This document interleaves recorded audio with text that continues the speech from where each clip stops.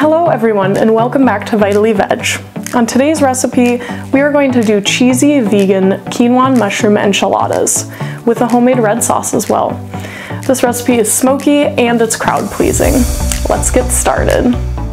First, we're going to preheat our oven to 350 degrees Fahrenheit.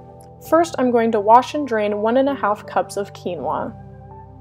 Then I'm going to grab a large or medium-sized rice cooker and add that to the pot like so. Next, I have about 8 ounces of mushrooms, 2 cloves of garlic, and half a large yellow onion. Go ahead and chop those up like so. And we're going to go ahead and also add those to the rice cooker, just like that. Next, I have a 12 ounce can of chipotle peppers and adobo. I'm going to pick between one pepper and three depending on how spicy I want it, and I'm just going to dice those up. Go ahead and add as many chipotle peppers as you want, but I wouldn't do more than three if I were you.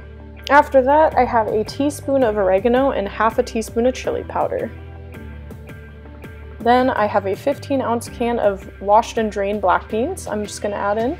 And finally, I have three cups of veggie broth. You can also use vegan chickenless broth too. I'm just gonna go ahead and give that a good stir until everything is well combined. Next, we're gonna salt and pepper this to taste.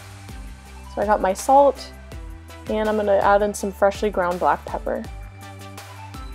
Once you're done seasoning it, go ahead and start your rice cooker on your white rice option, which should take about 15 to 20 minutes, and it should be fluffy and look like this once it's done.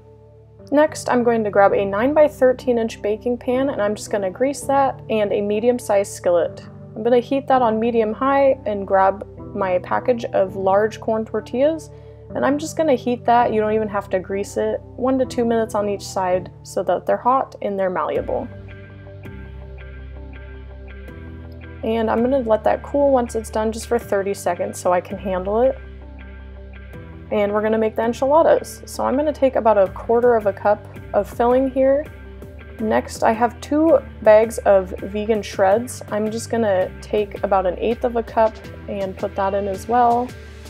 And go ahead and just fold that over. It doesn't have to be perfect and put the seam side down.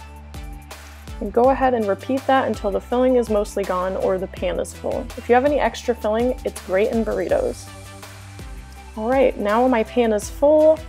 I'm going to take five cups of homemade vegan enchilada sauce. I have a recipe on the website. It's really good. I recommend it. You can also use store-bought, but it's not as good, I promise.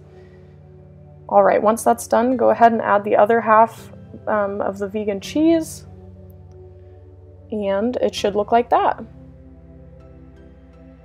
All right, it's ready to bake. So we're gonna go ahead and put that in at 350 again and bake that for 25 to 30 minutes or until it's hot all the way through and the cheese is melted.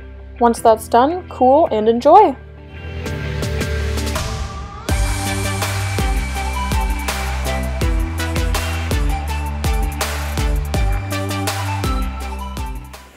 Alright everyone, that was cheesy vegan mushroom and quinoa enchiladas. I hope you guys try this recipe out, and don't forget to like and subscribe and check out vitallyveg.com for more recipes. I'll see you guys next time.